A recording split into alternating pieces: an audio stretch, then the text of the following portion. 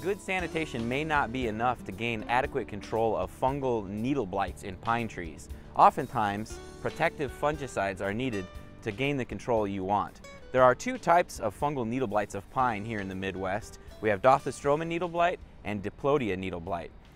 The first thing you might need to do if you feel that you have a needle blight on your pine trees is get a diagnosis.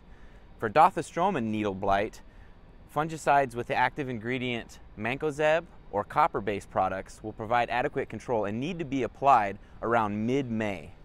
For Diplodia tip blight control, fungicides containing the active ingredient thiophanate methyl, propiconazole, chlorothalonil, or copper-based products will provide adequate control.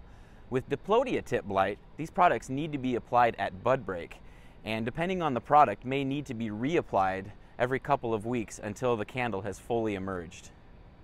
Dothistroma needle blight will only affect second year needles or older, and what you'll see is that from the point of infection towards the tip of the needle, that entire needle will die. But from the point of infection down to where that needle is attached to the fascicle of the tree, that needle will remain healthy. So you have a zone of dead needles towards the outside of a branch and the inner needles are still alive.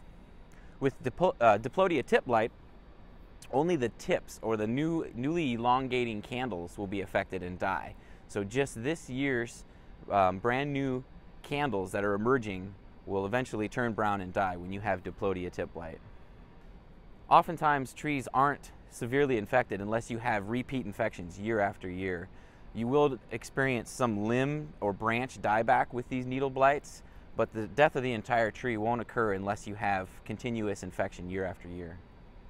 So this is the time of year when we need to start thinking about applying these fungicides if you have a history of pine needle blights in your landscape.